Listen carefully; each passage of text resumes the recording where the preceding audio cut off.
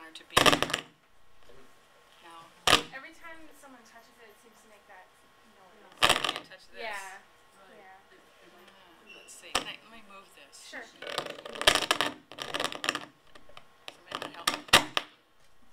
I'm very loud. Sure. Yeah. I like to have the mic close to my mouth. Oh. Is it, wait, can we twist it this way? So that I don't have to bump into, I don't wanna bump into it. Can we turn it down?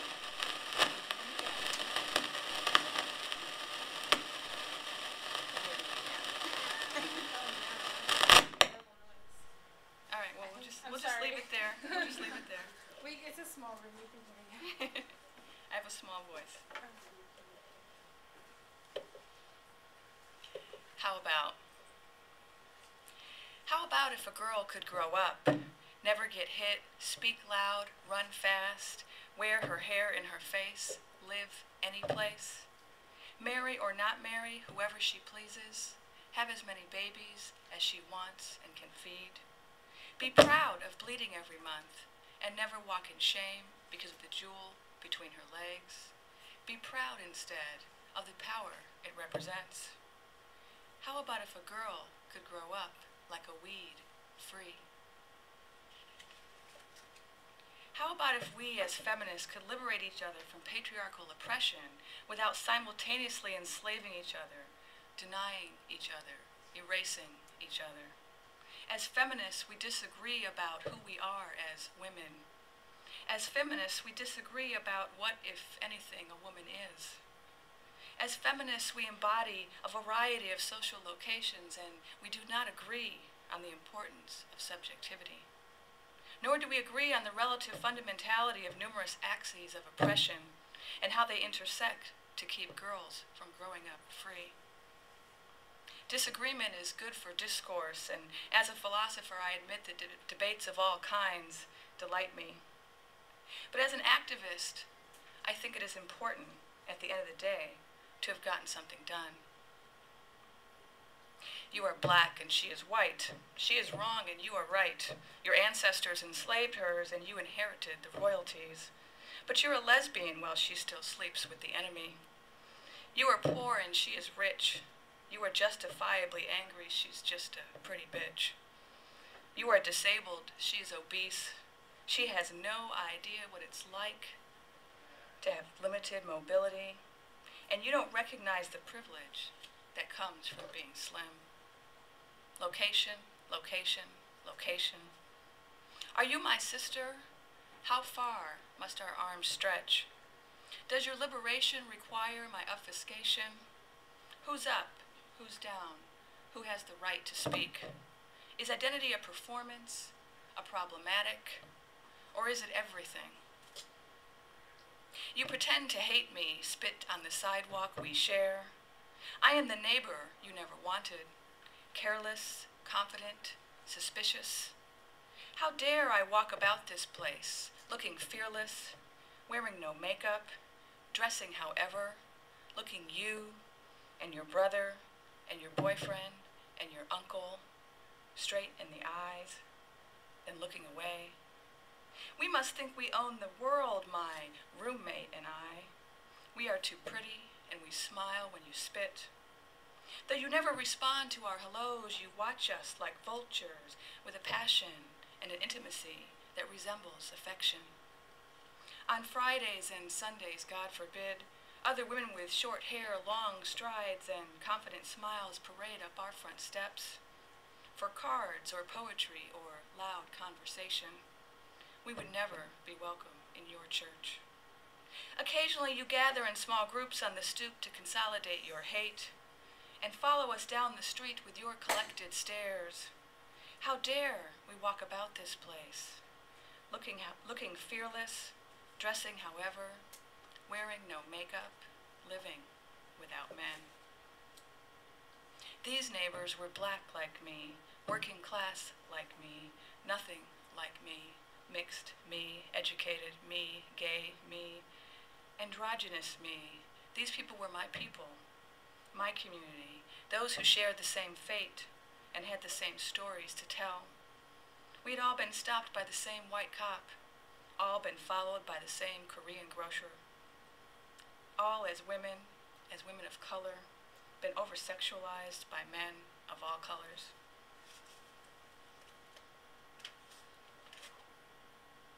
Black feminist Deborah King explains that black feminists, quote, find ourselves marginal to both movements for women's liberation, black liberation, and class liberation. Despite our victimization of the multiple discriminations of racism, sexism, and classism. British feminists of color like Valerie Amos, Pratibha Parmar, and Chandra Mohanty have all characterized white feminism as colonialist or imperialist discourse that does not speak to the experiences of non-white women, and where it attempts to do so, it does so from a racist perspective and reasoning. Native American feminists such as Beatrice Medicine, Leslie Marmon Silko, and A.J. Herrero have argued that sexist and misogynistic attitudes and behaviors of white patriarchy are European in origin, and thus mainstream white feminism is not relevant to indigenous women's struggles it universalizes a culturally specific experience, thus rendering Native American experiences marginal. Latina feminists like Moraga and Anzaldúa have theorized a mestiza feminism, which explicitly identifies itself as a borderland feminism, taking shape in the margins between white, black, and native feminist theories. Disability studies feminists like Anita Silvers have created their own marginal notations on issues of embodiment not addressed by ableist feminists, even those who focus on embodiment and the body as a site of female oppression. The school of lesbian feminism was formed after all the lesbians were kicked out of the liberal feminist organizations in the 60s and 70s by their homophobic and heterosexist sisters in the struggle. What divides us is not merely identity, theory, culture, but rather power, privilege, and hatred in many forms. Perching, black, cracking, comes again the pain, then too this anger, the stark white cage. My fist, my face, the glass, and then no matter I destroy this space, or weep, or scream, my heart is magenta against this velvet night, and I am just a soft brown girl perching on this life. As a mixed race gay feminist, my own marginalization is multiple. Deborah King's interactive model she calls multiple jeopardy explains black women's lives in terms of racism multiplied by sexism multiplied by classism my life can similarly be explained in terms of these simultaneous and interactive oppressions, complicated by the marginalization the mestiza, the mixed blood, the half-caste feels in communities of colors because of her unfixed location. I am a person of mixed heritage. Africans may not claim me, nor Native Americans, nor Europeans either. But I am a person of mixed heritage, and I claim all my ancestors, those who raised me, and those I only know in dreams, those who betrayed me, and those who deny me, those that I look like, those that I don't, those my parents talk about, those my parents won't. I claim my relations like I claim my lives, whether regardless they recognize me. What they don't teach me, I learn in their books. What they will not tell me, I overhear and repeat. I wear their clothes and their customs as my own, and I come to their ceremonies without invitation. I cook their food and pass down their legends. I tell their stories and make them mine. I know their dances, sing their songs. I pray to their gods. I know them. I have dissected them, so I understand why they hate me. For you see, I am not simply a woman, a black, a brown, a white, a red woman but so much more and so much less. For in the eyes of many, the history of the half-breed is me. I am a symbol of several centuries, the fruit of lost seeds, mistaken hybrid. I am the definition of the forbidden. I am the aftermath of rape, the constant daily visual reminder of the savagery of conquest, the mother's torture, the disintegration of a people, the disappearance of a race. And I have been the deadly double agent, the impostor, the traitor, the broker, the mercenary, the savior, the sacrifice, the messenger, the thief. And I have done the unspeakable to the underdog, my own mother's people. I have been the Judas, have given the kiss that crushed a culture, whispered the secrets that disclosed the sacred, led the marauders to the temple, and hid myself in the leaves of the ancestor tree, and watched I have been the scout and the interpreter, translating the rage of my people into a treaty of transgression. And I have been the one who told the master and the colonel when they came that I could lead my people to the table to discuss their own defeat. I have been the foundation of self hatred, have set beauty standards and political agendas, and I have been the leaderess of a movement to deny I have denied myself, have denied my blackness, have hidden my golden lineage. I have lied to myself. I have lied and got over. I have lain with the enemy, and then, when that wasn't enough, I have become the enemy myself and prided myself in it. But I am more than my history and more than the symbol I seem. I am a soft skinned human being, and I have also cried myself to sleep many a night. For you see, I was always the bastard, the unfortunate conception, the evidence of sin, the trick baby. I was called impostor, outsider, child of a whore, half-breed, mutt, zebra, pale-face, mulatto, two-tone, red-bone, slut. I was shunned and I was denied. I was accused of crimes I was not alive to commit, and I am asked to explain the actions of people who are not my kin. And I am blamed for massacres and genocide and the prostitution of a race, and I am asked to bow my head in shame for what my parents did and what my existence represents. How do we, as feminists with diverse and conflicting locations, experiences, and identities, theorize women's oppression without defining womanhood in exclusionary terms? How do we honor our ancestors, tell the truth, and acknowledge power? How do we talk about the specificities of gender, race, class, sexuality, and their intersections without failing to address the condition of women more generally? How do we identify issues beyond identity issues? How do we do theory while addressing the concrete? How do we explain? How do we critique? You look like my people, I tell her, tracing the lines of my grandmother's and the wrinkles around her eyes. The shape of her cheeks escaping from the center of her cheeks like large brown mesas enchant me with memories. I try to explain simply, say, maybe we are distant kin. Where do you come from? You look like my people. She laughs, doesn't answer, asks, who are your people?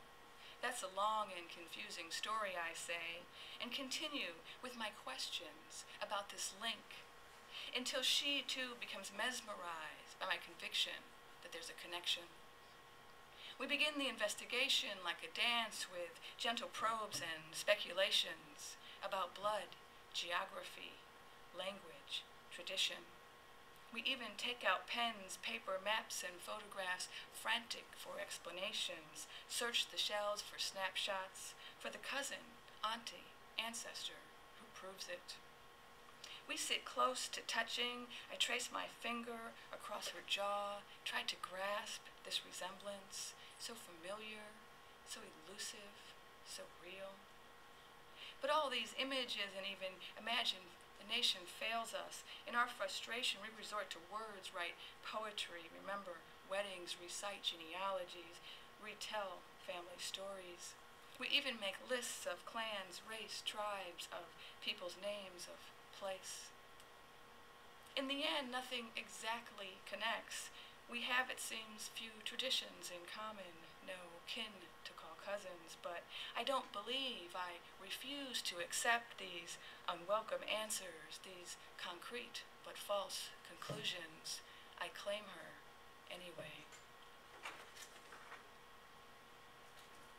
Difference, Audre Lorde explained, quote, is the raw and powerful connection from which our personal power is forged. How do we forge our feminism?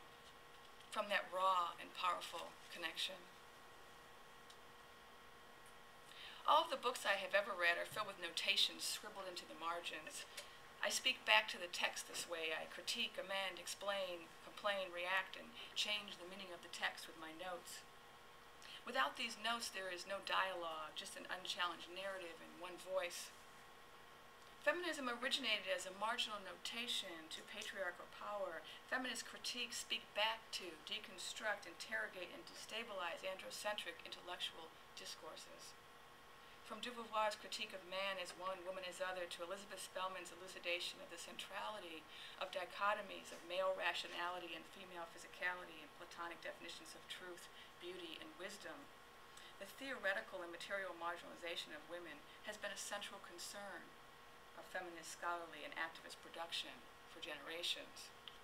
It is precisely this history that ought to illuminate us for the important discursive role marginal notations play in the theorization of oppression.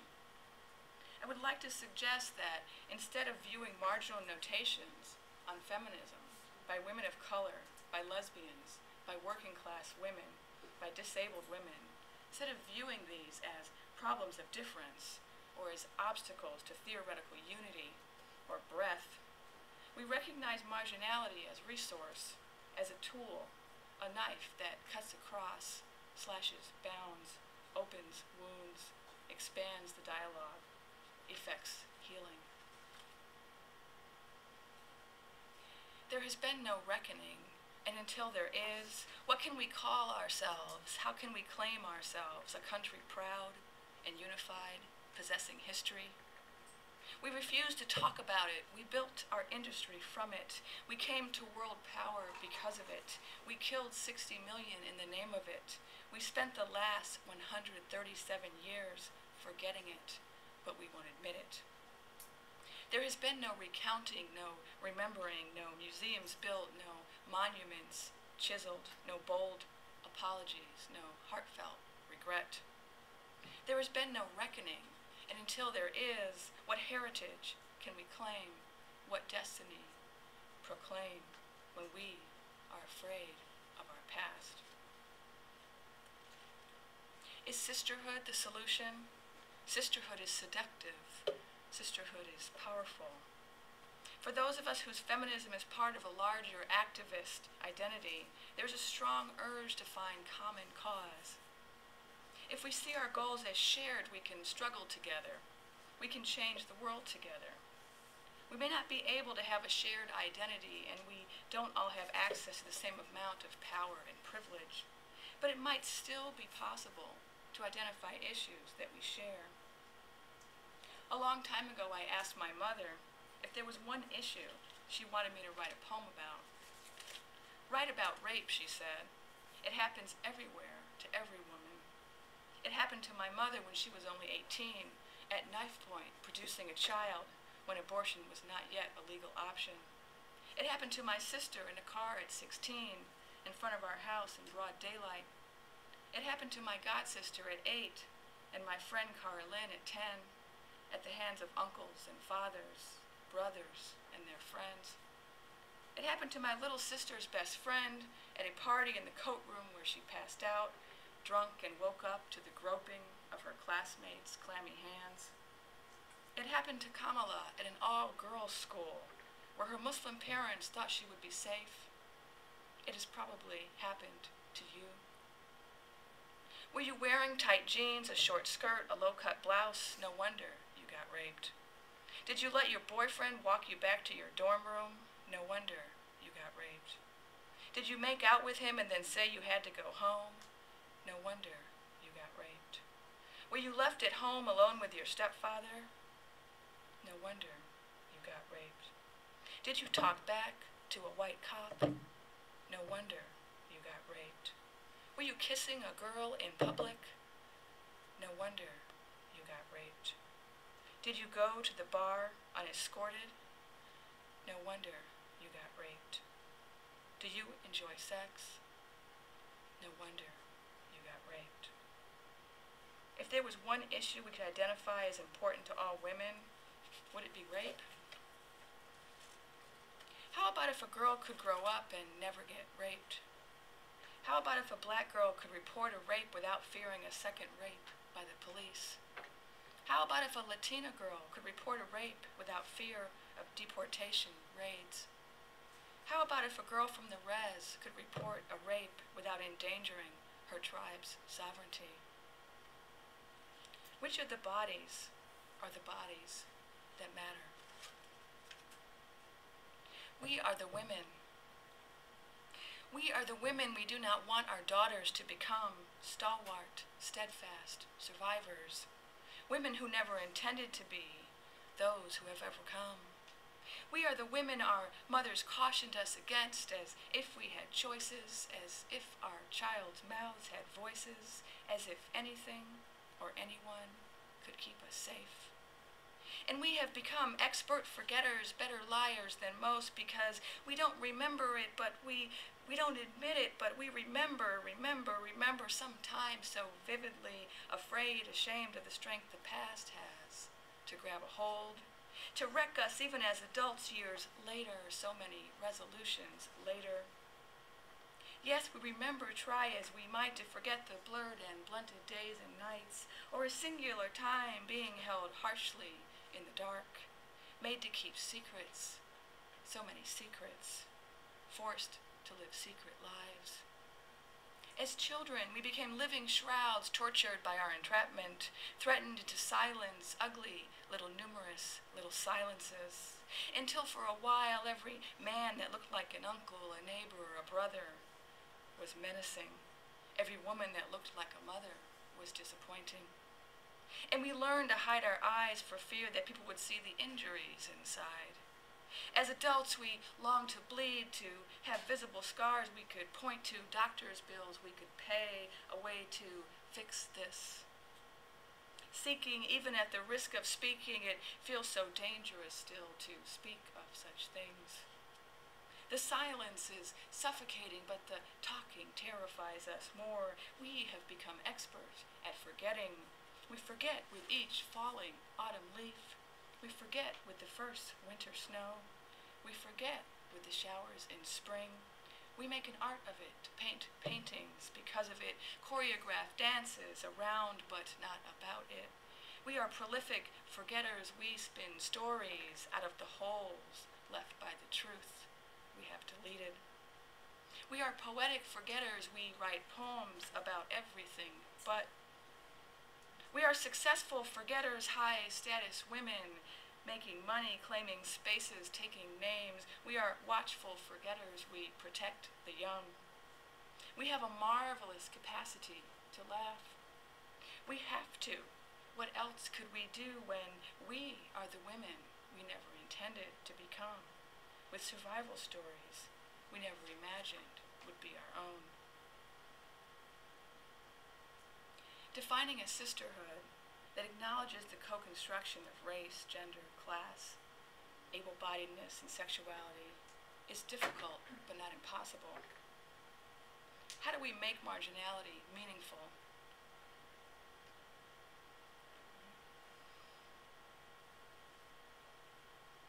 I suggest four steps that we can take in order to make marginality meaningful in our theorization. First, map your social location. Know the axes from which you are privileged as well as those from which you are oppressed. It's so much easier to be aware of how we're oppressed than it is to be aware of how we're privileged. Second, devote yourself to reading the margin notes made by other women in response to your work. Third, whenever possible, strive to adopt your own marginal consciousness in the formulation of theories. Fourth, make every effort to view yourself and others as concrete others.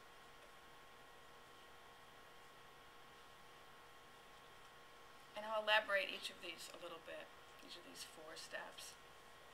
The first step, the mapping of your social location, is about recognizing where you're located and also labeling where you're located. And to give you some examples, I'm oppressed on the axis of race, but privileged on the axis of class as a professor with a PhD. I'm oppressed on the axis of gender, but I'm privileged in terms of size and looks, right? Looksism and sizeism. Right? I'm oppressed on the axis of sexuality and also disability, but then among disabled women, I'm privileged because my disability isn't visible. Labeling involves calling everything exactly what it is. So if you have a theory about your experience, instead of calling it a theory about all women, you're very careful about being aware of where that theory is located. Number two, devoting yourself to reading the margin notes made by other women.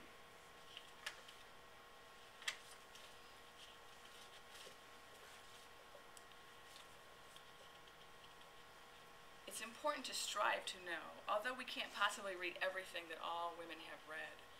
It's important to strive to know, to try to find out what are the other narratives, what are the other stories, what are the critiques that are being made of your theory, right, that are outside of your field. So we have a tendency, not just in feminist theory, but in philosophy and most disciplines, to find a very small niche and to stay within it. And then things just don't occur to us, right? So in feminist theory, you'll find a number of um, concepts which are actually challenged by feminists in other fields, in you know Native and African and, and Latina feminists, but they just aren't being read by mainstream feminists. And I wanted to give an example from Native American feminism, which I thought was particularly strong, with regard to matrilinearity and matrifocality, and some strong women traditions in the Native uh, cultures. In recent years, Native American women scholars in a variety of disciplines, particularly history and literary criticism, have sought to bring to light the ways in which, despite written histories to the contrary, indigenous women have traditionally played central roles in tribes as powerful leaders, as warriors, as healers. Scholars Rayna Green, Annette Jaimes, Beatrice Medicine, Paula Gunn Allen, and others have sought to illuminate the ways in which, quote, women have always formed the backbone of indigenous resistance on this continent. Wilma Mankiller, the former chief of the Cherokee tribe, has argued that women have historically and traditionally played a central role in most tribes. While she acknowledges that in the contemporary setting she encountered resistance to her leadership because she's female, she points out this is a modern digression from a strong Cherokee tradition of honoring and centering the power of women. She writes, quote, Cherokee people trace their clan ancestry through women there once was a women's council composed of women, each of the seven, for each of the seven Cherokee uh, clans. A special woman served as the chief beloved woman. Female warriors, called war women or pretty women, were tribal dignitaries. There was a belief that the Great Spirit sent messages through women. A woman's power was considered so great that special women were also able to declare whether punishment or pardon was to be inflicted upon those who offended the mandate to engage in only right or correct actions, unquote. This traditional power held by many Cherokee women mirrors a similar role played by women in many other tribes, according to Mankiller.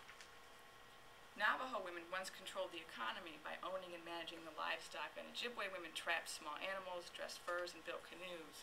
In some indigenous communities, women cho chose lives that transcended gender roles.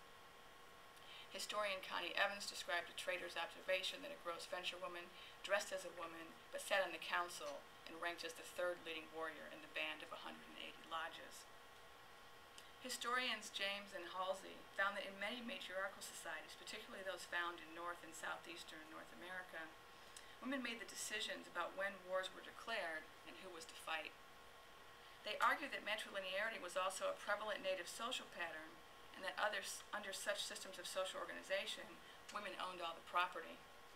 In one example, they explain, quote, Among the Lakota, men own nothing but their clothing, a horse for hunting, weapons, and spiritual items. Homes, furnishings, and the like were the property of their wives.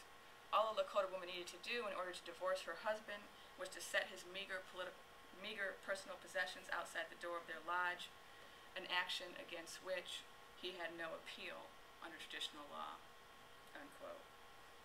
Similarly, Navajo artist Emmi Whitehorse explains that in her tribe, in earlier times, if a woman was unhappy with her husband, she just picked up all his stuff and put it outside the door of the hogan, and that was it. He couldn't contest it, he had to go, unquote. This is just one example of larger pattern which she says persists today, wherein women continue to control important aspects of family and tribal life. She writes, In my family, the female owned everything, the woman ran everything. They owned the land and the sheep, they nurtured and cared for the family. The woman was responsible for the survival of the people.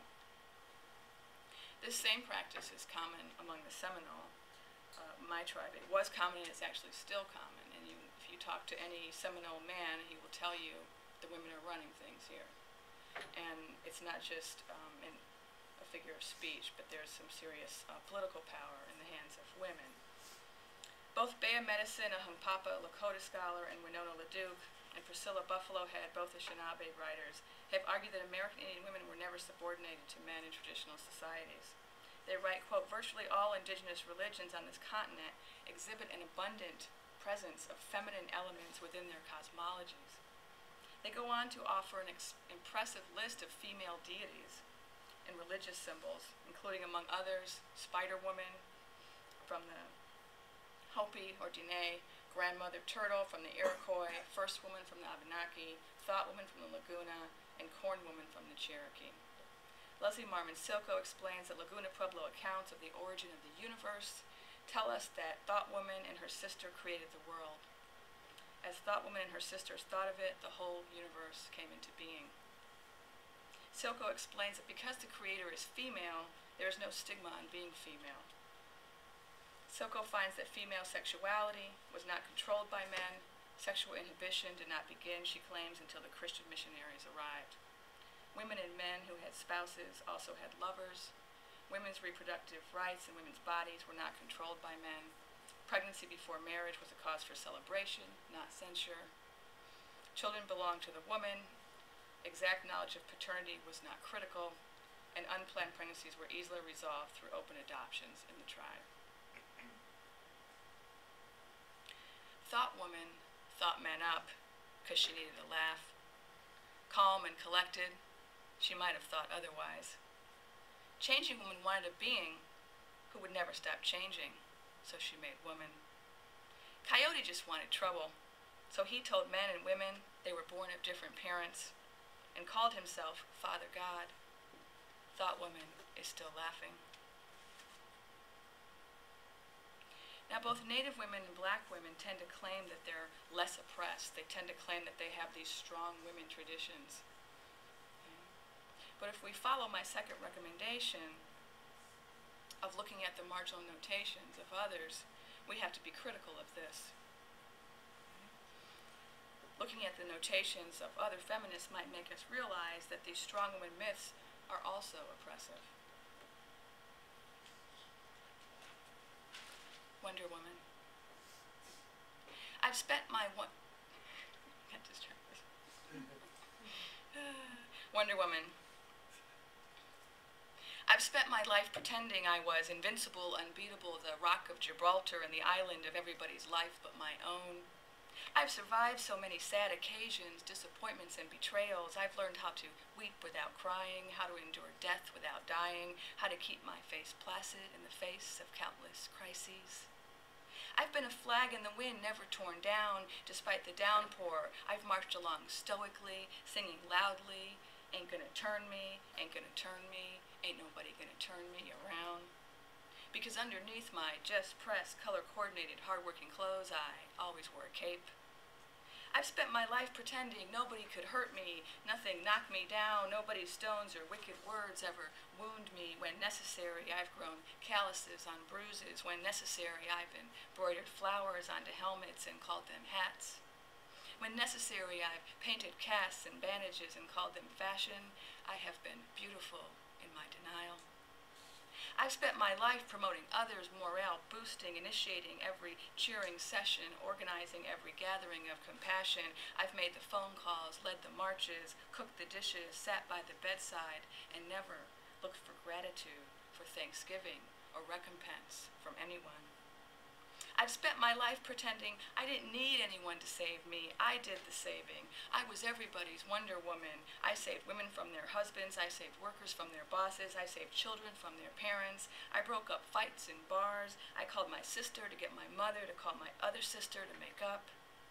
I had a broad shoulder, a warm breast, a wet shirt, and a solution for everybody's problems.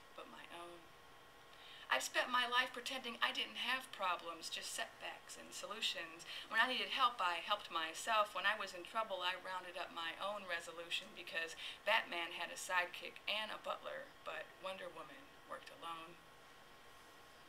I spent my life pretending I never got angry, so in control, so peaceful. I never raised my voice, so Christ like. I always forgave every insult, every assault.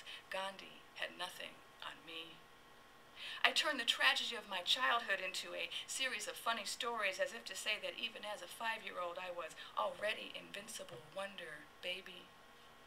I turned the trials of my adulthood into funny fables to tell the children, as if Mama never faltered, never failed, as if I never cried out in anguish to an indifferent God, as if I never doubted I would survive. I've lived my life spouting out a series of survivor sayings. What doesn't kill you makes you stronger. Don't let the turkeys get you down. Only the strong survive. This too will pass as if the right words would make the pain go away, as if my laughter could keep the heartbreak at bay. I've spent my life forgetting every injustice done to me, as if I was bigger than the crimes committed against me, as if I was Teflon coated and lion hearted, as if I was the only flower in the garden who never wilted, who never needed water or sunshine or a loving green thumb to thrive.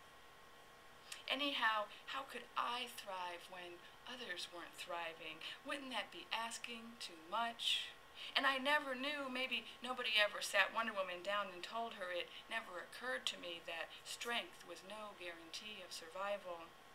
I've spent my life pretending I was invincible, unbeatable, the rock of Gibraltar and the island of everybody's life, oblivious to the waves crashing down around me. And nobody ever told me it's not just the strong that survive. Nobody ever told me, and why would I listen?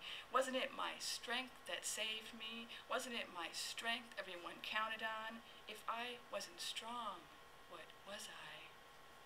I spent my life pretending I was invincible, unbeatable, and I never knew in all my life saving heroics I never figured out. No one ever hinted at the possibility that sometimes it's those who learn how to surrender, to say I can't, to admit weakness, to ask for help, who are the strongest, and survival is irrelevant.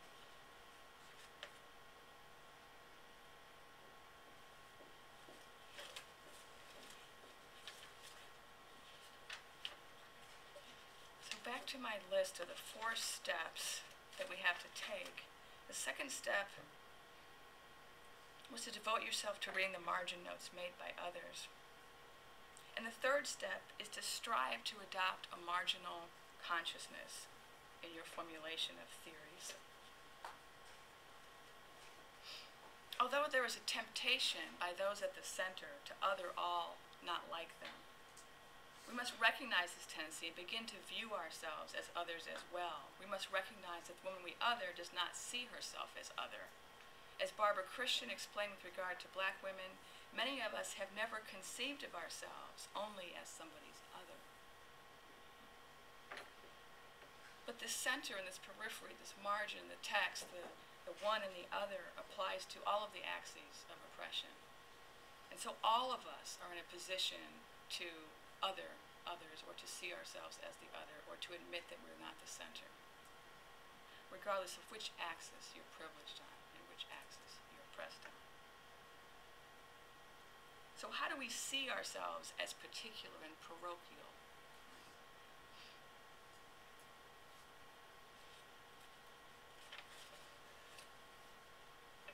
My sisters in the suburbs read Harlequin romances Imagine what their lives might have been had they not married Joe, had they not settled for stability, the first man that noticed them, the only nice Jewish boy their parents approved of. They read about temptation and torrid love, about women who forsake family, race, religion, country for the one they want, about men who risk their lives for the sake of seduction, and they wonder what their lives might have been like if Kim hadn't married Kobe right after high school, If Sally hadn't dropped out of college and kept the baby. If Maya hadn't considered herself lucky for finding modern college boy Sanjay instead of choosing from the matchmaker's list. If they hadn't agreed to compromises too numerous to recount. If instead they had followed their own dreams, if they had first and foremost decided who they were, who they wanted to be, sought instead their own vision of what could be. What if they had waited? What if they had believed a little more in the possibility of being happy, in the possibility of being free? My sisters in the suburbs live their lives the best way they know how, count themselves lucky, look to their children, tell themselves they did the right thing, try to put out of mind their own selfish needs, read Harlequins and imagine, but dare not live, the lives they might have had.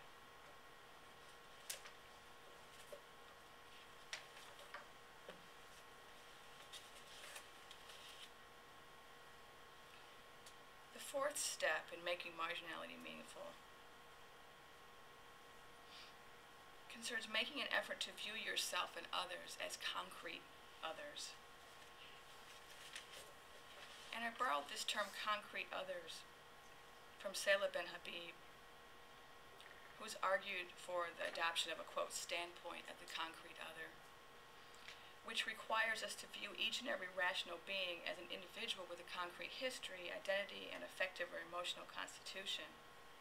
She argues that we need to seek to comprehend the needs of the other, what she searches for, what she desires. Our relation to the other is governed by the norms of equity and complementary re- reciprocity. In this way, then, our differences complement rather than exclude one another. Benhabib insists on the importance of the voice of the other. She explains that, quote, the viewpoint of the concrete other emerges as a distinct one only as a result of self identification. It is the other who makes us aware both of her concreteness and her otherness. Without engagement, confrontation, dialogue, and even a struggle for recognition, we tend to constitute the otherness of the other by projection and fantasy, or ignore it in indifference.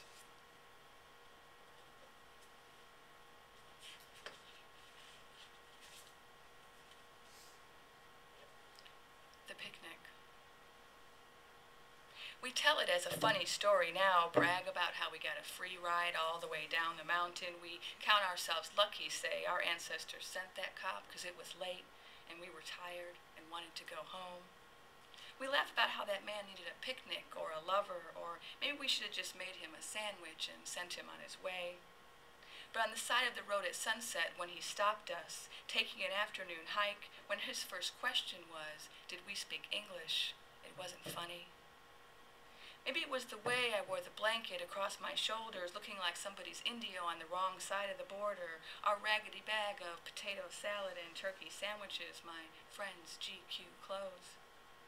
Maybe it was our complexion, hers the color of roasted almonds, mine of burnt copper. Something made us look like criminals, made that cop want to arrest us, almost arrest us, until I pulled out everything, cited my student status, used my most eloquent English, asked that man with big, innocent eyes, Do we look dangerous to you? In the end, he let us go, even drove us halfway home, but that cop and me and friend we know. It wasn't because of our innocence that things turned out that way. No, he let us go because of what he saw in our eyes, what he feared more than wetbacks in the wrong place, vagrants, thieves, or brownskins claiming to have rights. He let us go because he feared the danger we would become.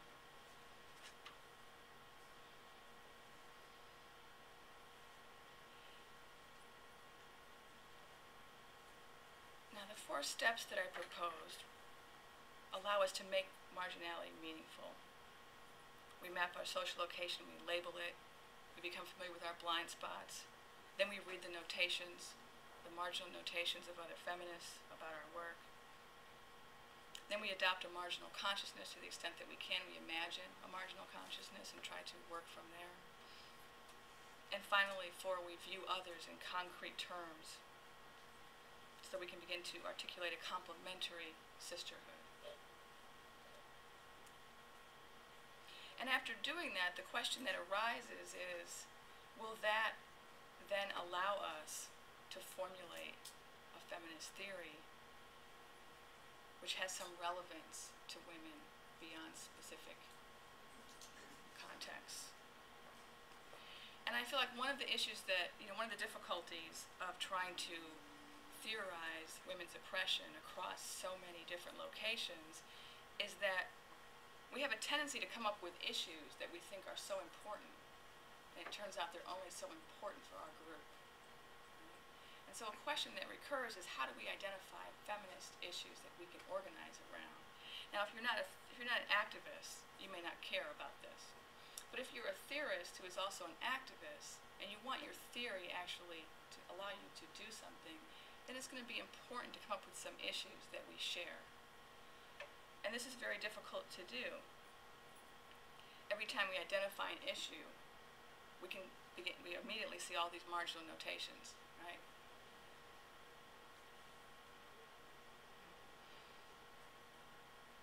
So for example, and I'll just give a couple of examples since it's getting late. But then maybe in the Q&A we can talk about some specific examples. Reproductive rights. Many of the feminist organizations that are the, you know, the biggest right now and that are organizing the, the largest number of people focus on reproductive rights.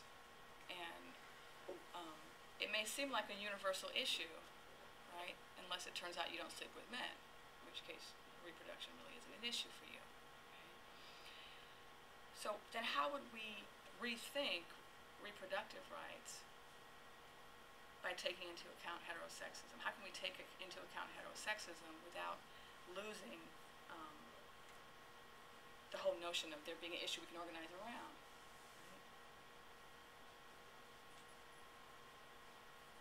And so I thought about using this, this four-step making marginality a meaningful plan and how it might then cause us to recognize these blind spots and to recognize the limitations of our theory early on. So we might immediately say, okay, this is heterosexist, right? So then, but we still think it's important. So how then do we deal with it? And so we try to find something else we can deal with, which is part of reproductive rights, but also something that is not heterosexist. So we can look at things like sexual agency or female sexuality. And within a discussion of sexual agency, we could talk about reproductive autonomy talk about um, sexuality and desire.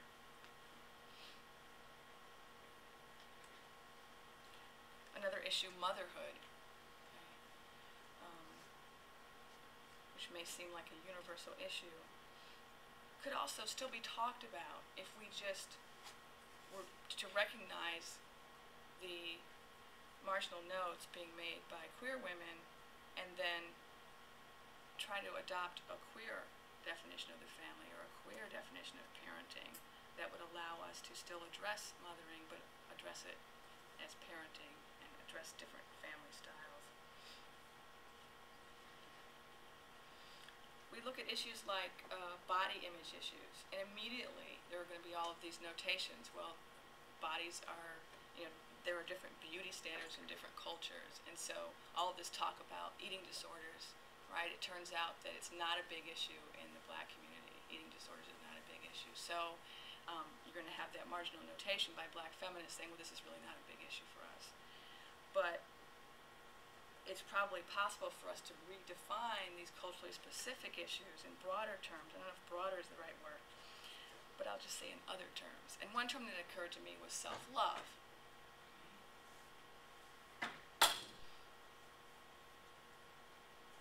How could we move away from issues of beauty standards, eating disorders, body image, to a, you know, to a category like self-love? Right? Would that allow us to address women in a lot of different social occasions.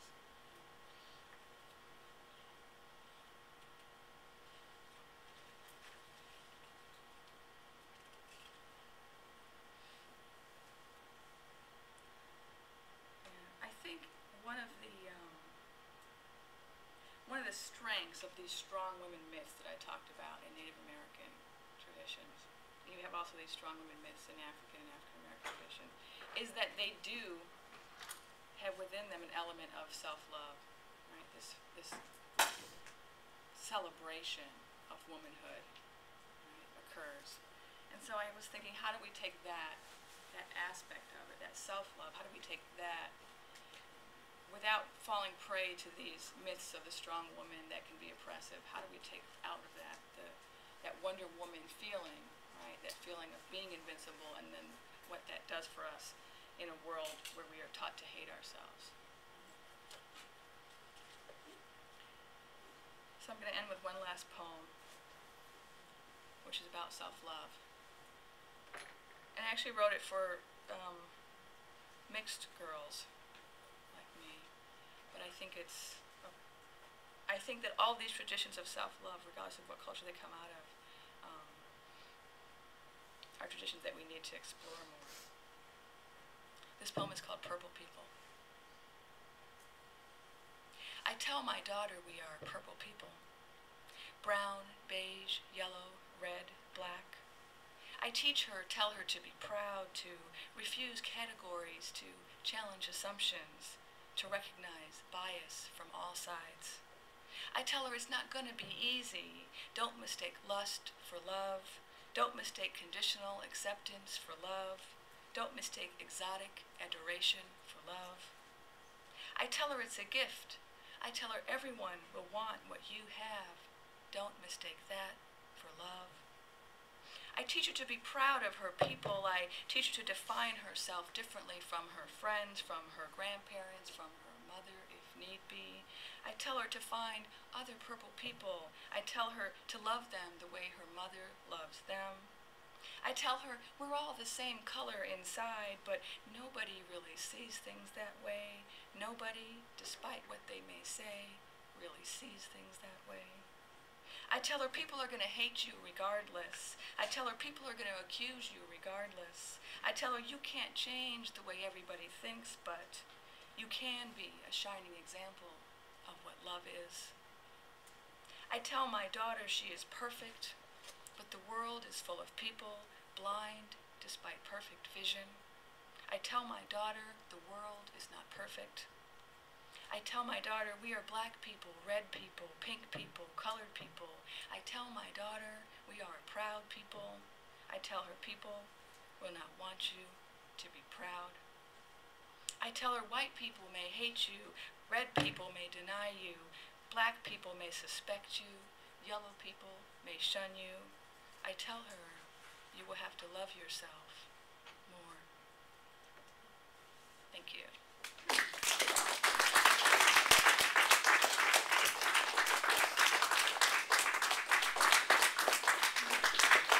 Thank you very much. All right, at this time, we want to open it up for some question and answer for Dr. Vest while we have her here.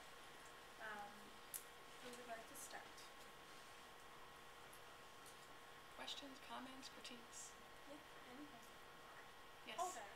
Dr. Vest, thank you so much for coming out. And Thank you. you so much for sharing your courage, strength, and hope with, with us. Thank you for being so brave and strong. And I really love the poem Wonder Woman, and it struck a chord with me. And I really, really, really want to thank you from the bottom of my heart Mm. for like giving me some strength once again. Thank you. Yeah. Maybe I can talk a little bit about that poem. Oh, there's a Sure. question. Uh, yeah, I, I had a question. Um, when you were talking guess, um, like examining from uh, like a marginal perspective, um, like the example you used um, in terms of, uh, I guess, concerns for motherhood, motherhood, and how that would be heterosexual, uh, heterosexist. Um, I guess my thought was, um, did, did you have a theoretical concern for becoming too general?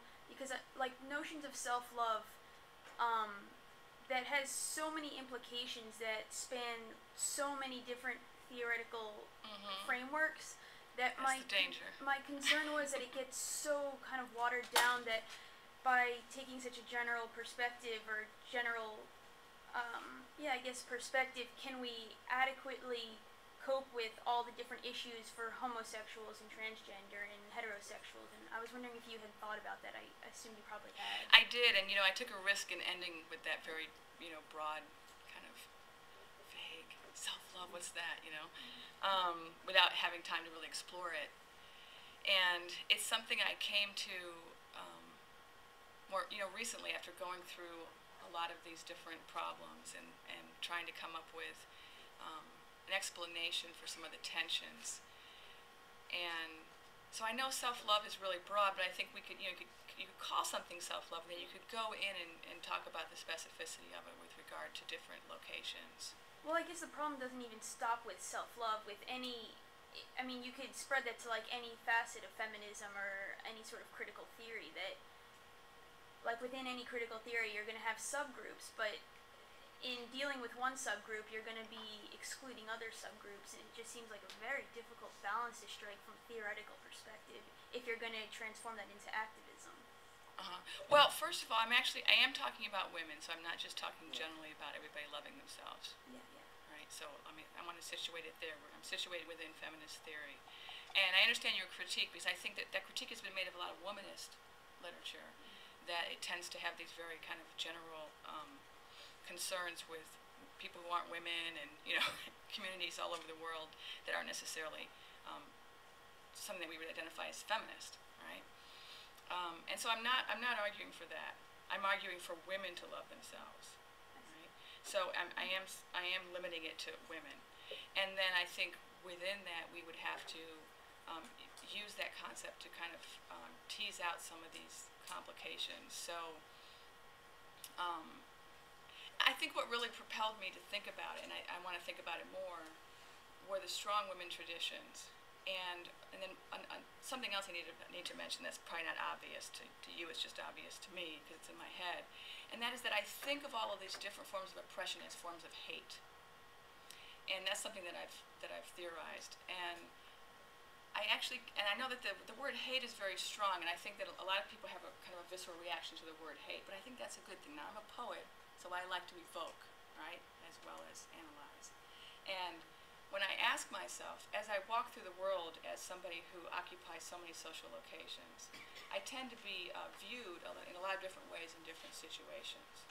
And what I have found is that in any given moment, so now I'm, I'm kind of talking on a personal note to explain this theory of hate.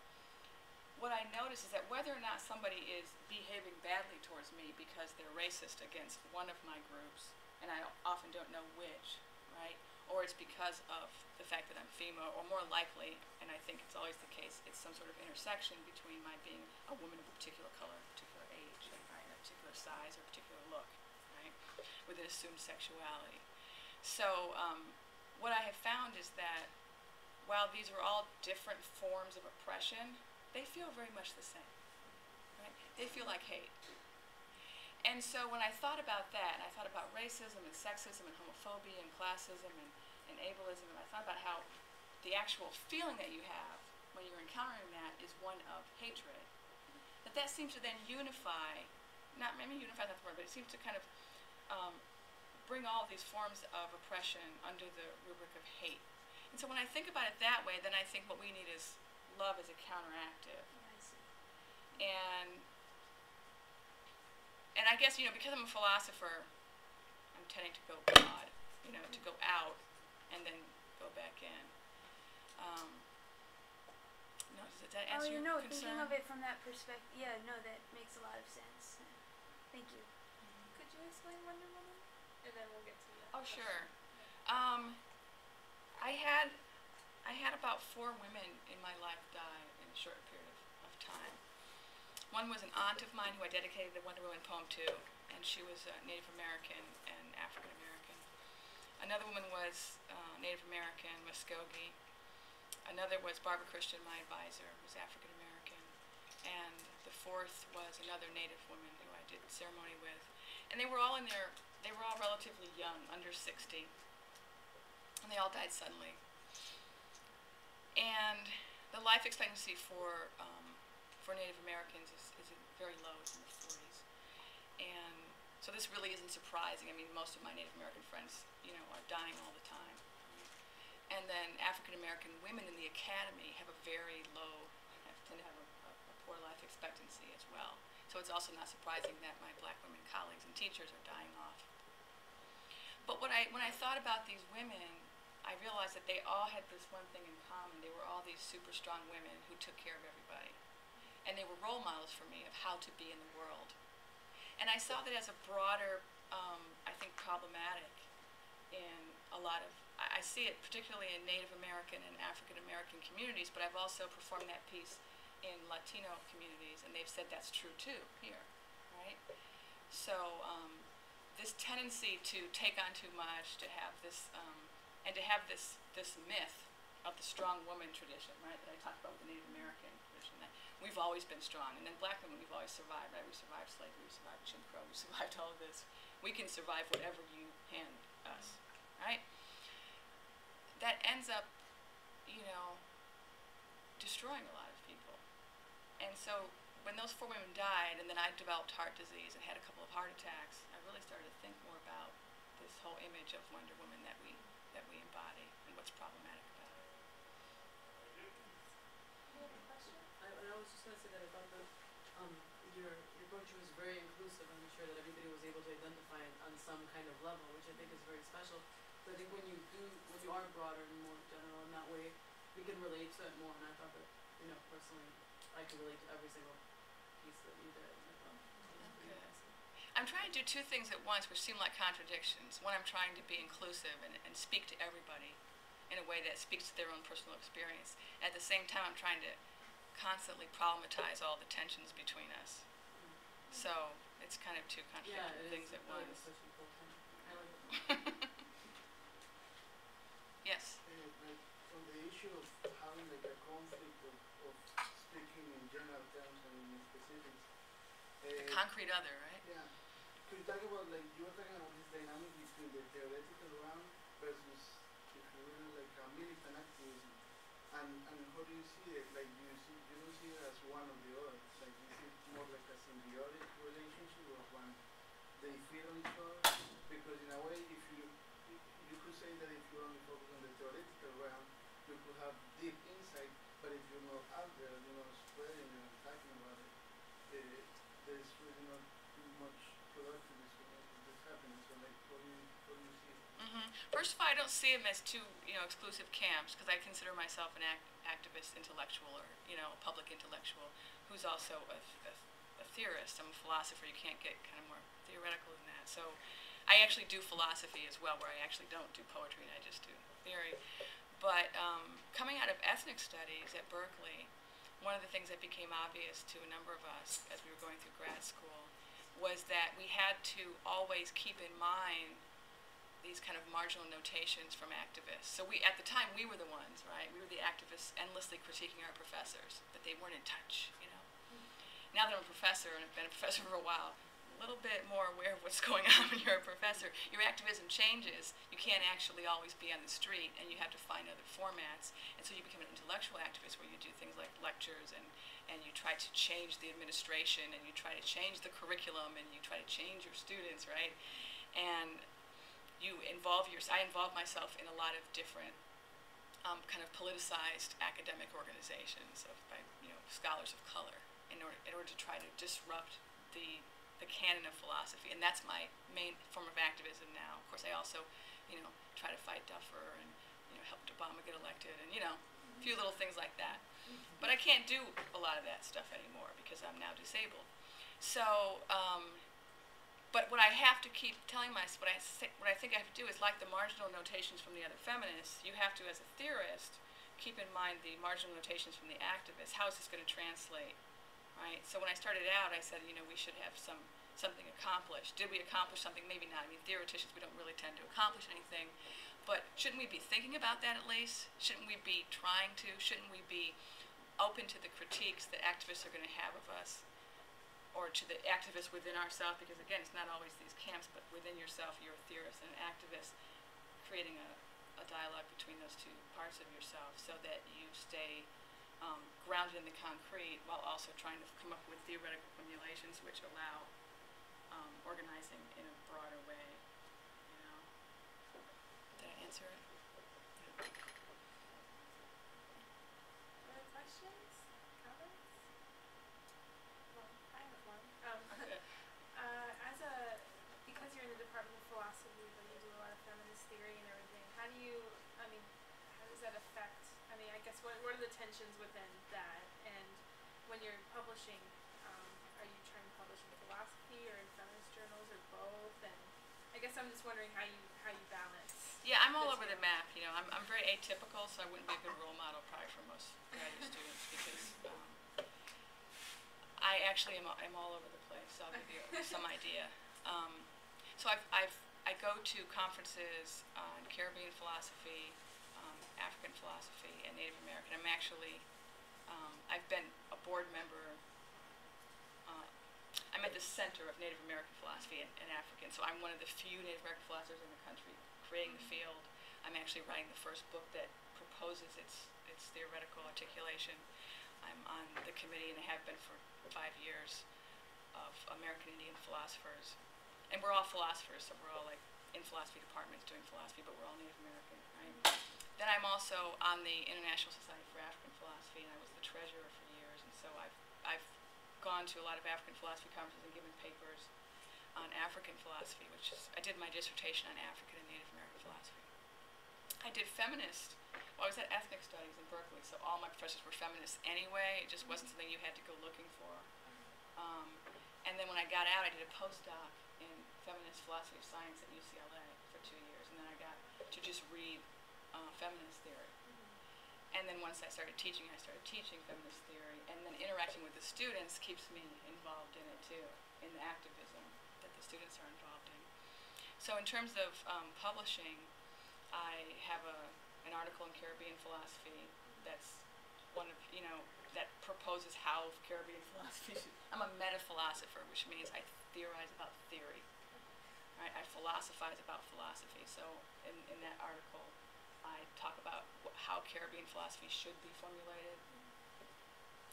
Um, in in uh, African philosophy, I have an article that I'm. It's not done. It's a revise and resubmit, so it's not out there yet. Again, very problematic in that I'm. All of my work is always going into a field and kind of throwing some bombs around and creating a lot of flack and questioning the foundations of everything and then hoping, you know, that I escape alive and that something gets published. So in African philosophy, same thing. My hope, my work in African philosophy has been about um, questioning some of the schools of thought, questioning some of the assumptions, and within all of those, and then I've then I've published on um, a paper on mixed race feminist theory. And again, I went there. I was going to a conference on um, feminist theory and trying to problematize uh, race by looking at the mixed race. Because I think the theme was global. What was it? Um, Florida without borders. Yeah, I had a real problem with that title.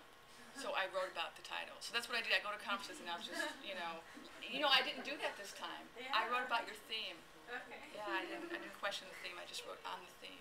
But I almost never do that. I go in and, and question stuff. So I actually, um, I'm usually the only woman Uh, at the African philosophy conferences I go to, and I'm always just in a group of men. So I'm always having to um, kind of actively um, challenge the androcentrism. And, and I mean, there was one conference I was at in um, Tanzania where there happened to have been three of us there. For the first time ever, there were like three.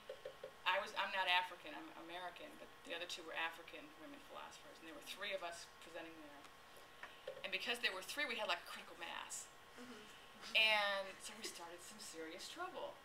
and here we are, 200 men, right? And there's three women. And so we got surrounded during the breaks for hours with like, you know, 20 uh, young grad students who just like, you know, kind of got in conflict with us, and we just basically did hardcore guerrilla feminist education for two hours. It was exhausting. And so I do I do stuff like that in, in a lot of different fields, but I, I really am all over the place in terms of so my you know, my feminism. You know, within Native philosophy, fortunately, um, it's such a small it's such a small field thus far. It's not there's very few of us, no, not a, not much of a critical mass, and it's about half women, half men. And so there has there's a way in which um, we've been able to discuss this field and start off with with feminist assumptions instead of kind of Mm. having an androcentric discourse and then trying to add women later. We haven't had to do that. As we have had to do that in African philosophy. Is there any more questions or comments for Dr. Vest? Okay, well, thank you very much.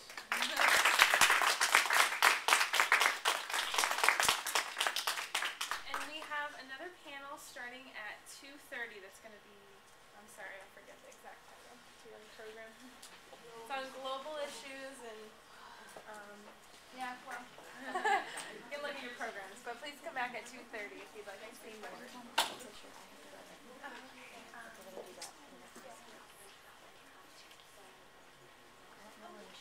Oh, Michelle. Oh, Oh, that's right. Why? Is there a?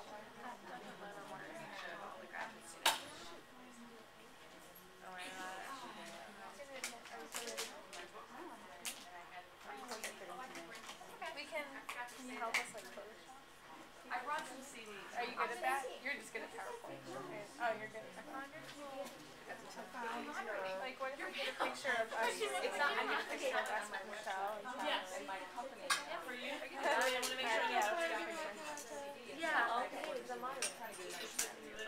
Yes, before you do that, can you take a picture of us? Three of us, and we're gonna try to Photoshop. Actually, we need Stacy in there too. Oh, yeah, well, yeah, graduate. She's grad, she's a graduate. But the newsletter is just focusing on this semester. Oh, this semester? Okay, then Stacy, can you take a have, picture? actually have three. This one camping Thanks for taking pictures so far. native stuff. Well, it doesn't, yeah, it didn't look like it would like, Ancestor look count. that promising. Yeah, it looks nasty. Where are we going? Oh, what did I choose? Well, love your bag. Yeah, I love the red and other look. I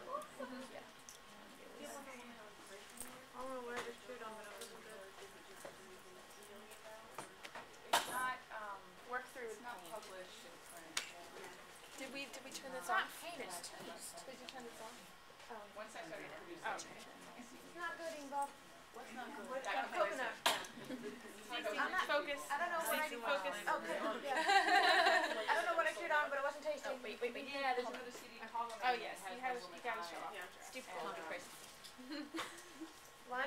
I have the, I have the one copy of it. Can you no, get I one would- more? I wanna uh, get Just for stupid. Oh, yeah, I can do twelve more. One, another, Okay, one one- more and then I'll get. Peter, are you gonna get it? Is Peter getting it or no? It's for the newsletter. Yeah, concentrate. Exactly. Look, good smile. Perfect. gonna get on me that. Maybe I should give this to, With um, my busted Sorry. button, hold on. Okay. One, Fantastic. two. Oh, it looks good. Cause I'm in, Yeah, I'm, I'm working on a newsletter with Dr. Yeah, I can Bowman. print them out. I can send it to you tonight. Oh, kind of rush, so I'll show you. If you wanted to take I think that she was the best speaker we've ever had. I mean, not counting Jane, but that was a, but that's Oh, Jane, yeah. and we have, yeah. She's phenomenal. presenter. Oh, what was her name? Thank Thank you. I forgot her name. Wow, that's pretty bad that I got her name. What's the time for each presenter? Fifteen. Fifteen? Twenty. It's twenty if you have three people, it's fifteen. if you have Okay. two. Sorry. Oh, no, I'm going, where's the, cause I'm gonna warn them that, I'm gonna be like, I'm a shark at this. Like, they will only get twenty minutes, and that will be it. That's good. I'm sorry, Judy. That will be all. So sorry. I, what do I do, you know? Like, I'm sorry. I want Rachel to one studies and make a copy of some, she's got a copy of. Yes, Donna's in so, do you know what Rocky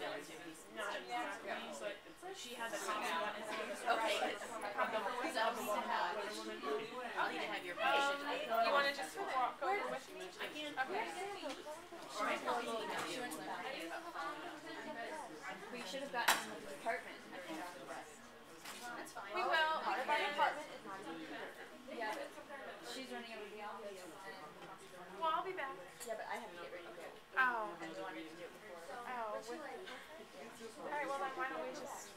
She has a meeting with the dean and provost that they made her do today, and they claim they didn't even know we had. Oh, that's right. I know. They're such jerks. I can't even stand it. I'll have sometime later. Sometime later, I'll tell you about our meeting. The only person. So we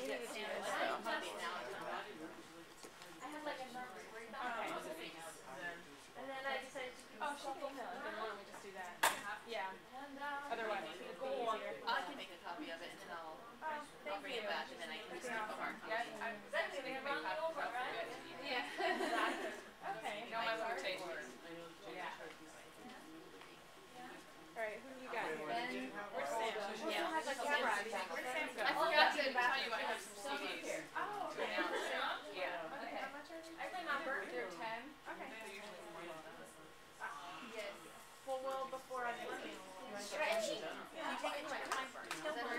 Was just wondering like, what, Where? Oh, never mind. Chelsea gave some people a rather different. with our department? Wait, do we want to wait for Sam? Yeah, wait. Okay. So that's why I wanted to get first. Yeah. Thank you so much. Can I have a hug? She hugs everybody. Thank you so much. It was great. I loved it. Where, where can I get um? Uh, I have some CDs. do you have, you, I you have, have a I have a website Yes. where you can go and